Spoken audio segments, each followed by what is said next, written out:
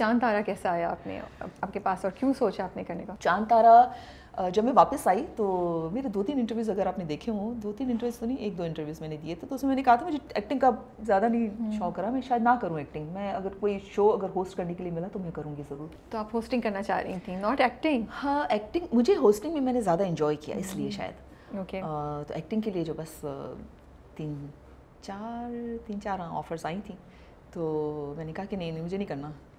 फिर दोबारा? वो एक होता है ना कि क्योंकि उनका तो काम है ना। बिल्कुल। कोई नया कुछ आया है दोबारा तो वो तो हाँ। चाह रहे होंगे कि नया चेहरा जो है वो क्योंकि लोग वैरायटी भी चाहते हैं। फिर कहा किसी सीरियल के लिए फिर मना किया फिर कहा फिर मना किया फिर कहा अब तो कर ही लेना आपने अच्छा। भी कहा मैं ना नहीं कह सकती। मैंने कहा चलो कर लेती हूँ। और हम्म। ये सोचे समझे बगैर कि क्या इसका रिज़ल्ट होगा क्या नहीं होगा मेरे फैंस इसको किस तरह से लेंगे क्या होगा। मैंने कहा चलें। तो मज़ा आया। तो फैंस क्या कह रहे हैं आपके फैंस पहले तो कुछ लोगों ने तो पहचाना नहीं मतलब okay. जो मेरे बहुत सारे ऐसे फैंस हैं जिन्होंने मेरे ड्रामे नहीं देखे थे हम्म, हम्म। उन्होंने आपको यूट्यूब हाँ, देखा होगा डिफरेंट दुनिया में डिफरेंट कंट्रीज़ से तो वो उन्होंने मेरा यूट्यूब चैनल देख के हम्म। या इंडिया से यूट्यूब चैनल देख के मेरा और यंगस्टर्स मतलब कि उन्होंने तो यकीन इतने साल पुराना ड्रामा नहीं देखा होगा। तो उनको जब पता चला कि मैं काम कर रही हूँ तो उन्होंने फिर से दोबारा वो ड्रामा देखा गया अच्छा वो आप हैं? तो ये भी है। Okay okay. हाँ लेकिन ये कि बड़ा मज़ा आया पूरी टीम के साथ बहुत एक पॉजिटिव एनर्जी थी उसमें मुझे बड़ा मज़ा आता यंगस्टर्स के साथ काम करके।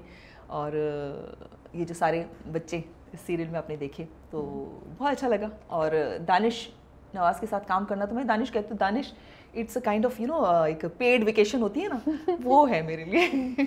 तो अब हम अब हम आपको आगे देखेंगे और ड्रामों में या अभी भी आप होस्टिंग का ही सोच पता नहीं पता है रबिया मैं वो इंसान हूँ जो मैं हम्म। कोई लंबी चौड़ी प्लानिंग कभी नहीं करती हूँ। I go with the flow कुछ अच्छा लगेगा तो मज़ा आएगा कोई बहुत अच्छा रोल हम्म। लगा करना चाहिए तो कर लूँगी। हम्म। लगा नहीं करना चाहिए तो नहीं करूँगी। अब जब आप देख रही हैं अभी आपको ड्रामे पे बहुत से एज ग्रुप के एक्टर्स भी सामने नज़र आ रहे हैं। और वैसे भी मतलब कुछ अरसे से अभी वापस आप टीवी के साथ कनेक्ट कर गई हैं यू नो और जब आप होती थी तो औरतों की treatment how industry treats women वो आपको क्या लगता है इवॉल्व हुई है? बेहतर हो गई है? वैसे ही है? औरतों के राइट्स ज़्यादा हो गए हैं या तब ज़्यादा होते थे? अब उनको रोल्स बेहतर ऑफ़र होते हैं? कैसे आपको प्रोसेस चेंज होता हुआ नज़र आया? औरतों के लिए सिर्फ़ हमारी इंडस्ट्री में नहीं, दुनिया भर में औरतों के लिए प्रॉब्लम ज़्यादा होते हैं। एक तो ये कि मैं उन लड़कियों से हटके भी बात कर रही हूँ कि जो ख़वातीन भी हैं जो अपने घरों में काम करी होती हैं जो घर से बाहर भी काम करी होती हैं इंडस्ट्री में भी काम करी होती हैं तो उनको बहुत सारे मल्टीपल रोल्स निभाने होते हैं जैसे अगर फ़र्ज़ करें कि अगर मैंने रिस्ट्रिक्ट कर दिया किसी को कि मैं सर्टन आवर्स के बाद काम नहीं करना चाहती हूँ हम्म। क्योंकि मुझे पता है अगर फॉर इंस्टेंस मेरे बच्चे होते छोटे या मेरे घर में बहुत सारे मेंबर्स होते तो मुझे हो, होता कि भाई मैं इतने बजे घर चली जाऊँ क्योंकि मुझे उनको भी टाइम देना है मुझे अपने हस्बैंड को भी टाइम देना है सब करना है हम्म। तो वो उनके लिए थोड़ी सी ज़िंदगी वैसे ही डिफ़िकल्ट होती है हम्म। हर जगह दुनिया में हम्म। हमें अपने आप को ज़्यादा प्रूफ करना पड़ता है हर चीज़ में मल्टी होना पड़ता है लेकिन इंडस्ट्री में तो इंडस्ट्री भी आम प्रोफेशंस की तरह है। Yeah. आप जिस तरह से जिस चीज़ को लेते हैं आपको वैसे ही लोग मिलते हैं आपको लोग वैसे ही लेंगे। आप अगर चाहेंगे कि उनके साथ मेरा रिलेशनशिप इस तरह का हो तो इस तरह का ही होगा। अगर आप चाहेंगे कि नहीं मैं जो मैं हूँ मुझे वैसे ही रहना है। Okay. मुझे ज़रूरत नहीं कुछ आगे आ, काम लेने की वजह से मुझे कुछ सोशलाइजिंग ज़्यादा करनी है मुझे अपनी नेटवर्किंग ज़्यादा करनी है। It totally depend on you okay तो लोग तो हर जगह एक तरह से होते हैं। पता नहीं क्यों इंडस्ट्री को क्यों इतना क्योंकि वो सबको नज़र आती है।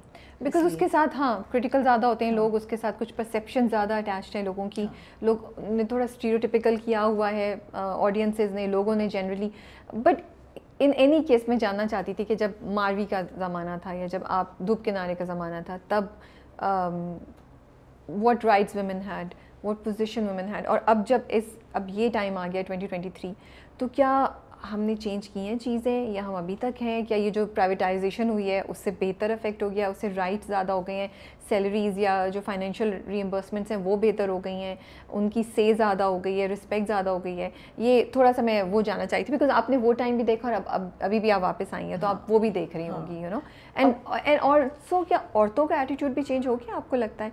फ्रॉम द टाइम जब आप उस वक्त काम करती थी और अब अब क्या औरतें भी डिफरेंट तरीके से अप्रोच करती हैं चीज़ों को? मैं अगेन वही कहूँगी कि सिर्फ़ मीडिया नहीं मैं ओवरऑल बात करूँगी कि सोशल मीडिया के बाद दुनिया बदल गई है। हम्म। दुनिया सिमट गई है। हमें इतना एक्सपोजर मिला है। आपके फिंगर टिप्स पे हर चीज़ आपको मिल रही है। हम्म। आप अब ऐसा नहीं कि मैं पाकिस्तान में बैठी हुई हूँ तो मैं यूरोप का एक्सपोजर नहीं ले सकती। आपने यूट्यूब पे हज़ारों वीडियोस देखे हैं आप। आपको हर चीज़ का पता चल जाएगा। आपको लगेगा आप आप वहाँ घूम कर आ गए हैं। तो अब तो ज़िंदगी बहुत मज़ेदार सी हो गई है। एट द सेम टाइम वो इट डिपेंड्स कि आपने उसका यूज़ करना है मिस यूज़ करना है वट एवर टोटली आप पे है। वो कहते हैं ना कि आपने whatever I have set ये uh, मेरी मैंने तो कह दिया बट ये मेरी रिस्पॉन्सिबिलिटी नहीं है कि आपने उसको how do you take that आपने उसको कैसे परसीव किया है? Yeah. मैंने तो वो तो आप पे डिपेंड करता है ना। दैट्स ट्रू तो that's true to some extent that's true चाँद तारा में सोशल मैसेजेस uh, बहुत ज़्यादा हैं। जॉइंट फैमिली सिस्टम पे बहुत बात कर रहे हैं वो। एंड बड़ा अच्छा मैसेज दे रहे हैं। आई हाँ। थिंक थोड़ा बीच में हम लोग कहीं भूल भी गए थे। हाँ। तो they are bringing those values back and you know showing के अच्छा मुझे इंटरेस्टिंग चीज़ लगती है कि उन सब लोगों के अपने मसले हैं आपस हाँ, में हाँ, अपनी अपनी ज़िंदगी में। लेकिन आपस में टॉक्सिसिटी नहीं है। हाँ, हम कोई साजिश जिठानी को देवरानी के अगेंस्ट या नंद के अगेंस्ट या यू नो बड़े भाई को दूसरे भाई के अगेंस्ट या। वो करते हुए नहीं देख रहे बच्चे भी। यू you नो know, उनकी अपने अपने इश्यूज़ हैं। They having challenges in their life तो ये मुझे बड़ा पॉजिटिव मैसेज उस ड्रामे का लगता है।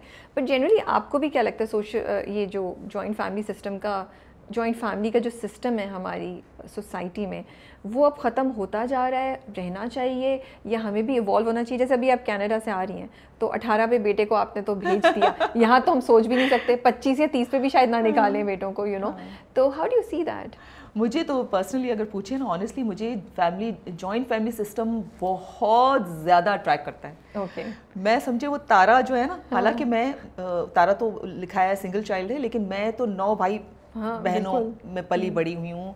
मेरे हमने बचपन ऐसा गुजारा है कि बराबर में पुप्पो का घर होता था उसके बराबर में चचा का घर होता था उसके थोड़ा दो गलियाँ छोड़ के मेरी खाला का घर होता था। इस तरह के हम एक ही नेबरहुड में हमने पले पड़े हैं। तो अगर घर पे खाना अच्छा नहीं लगे तो अम्मी ने नखरे नहीं उठाने। अम्मी ने कहा खाना खाना है जो भी पकाया मैंने जो ये खाना है तो खाओ नहीं तो भूखे सो जाओ। हाँ। क्योंकि उनको पता है भूखा तो कोई सोएगा ही नहीं। तो हम फिर जाते थे चचा के घर में क्या पका है? कोई मज़े की चीज़ नहीं पकी। अच्छा फूफो के घर जाते थे तो हम्म। ये हम हम तो इस तरह से पले बड़े हैं। तो। मुझे तो बड़ा ही अच्छा लगता है। काश मैं तो अभी भी मतलब कि मैं ऑन कैमरा भी कह सकती हूँ कि मैं तो अपने हस्बैंड को हमेशा यही कहती हूँ कि काश यार तुम्हारी फैमिली सारे ना एक ही मोहल्ले में सबके घर होते। तो वो कहता है फिर पता नहीं क्या हाल होता? वो सारे वाली बातें कर रहे हैं। तो लेकिन मेरे, मैं तो वाकई में इसी तरह की हूँ। हम्म। और मेरा बेटा भी बड़ा कोई घर में आता था कोई दावत हो फ्रेंड्स आए वो बड़ा मज़ा आता था उसको। हम्म, हम्म। तो मैं तो बड़ी फ़ैन हूँ भाई जॉइंट फैमिली सिस्टम की। लेकिन एट द सेम टाइम अब क्योंकि हर कोई अपने एक यूनिट को अपने हिसाब से अपने विजन के साथ बच्चों को पालना चाहता है तो sometimes family joint family system ये होता है कि आपके जो बुज़ुर्ग होते हैं क्योंकि उसमें बड़ा पेशेंस चाहिए होता है। सही बात साथ रहने के लिए बहुत आपको सब्र तहमुल चाहिए होता है। हम्म। आपको जब हम ये देखते हैं ना कि हम तो अपने बच्चों को आठ बजे सुलाना चाहते हैं और वो दादा दादी के पास बैठा हुआ वो देखो वो तो उसको मीठी चीज़ें खिला रहे हैं हम तो उतना वो बच्चों को रोकते हैं इनके दांत ख़राब हो जाएँगे। तो फिर उसमें बैलेंस करना बड़ा मुश्किल होता है।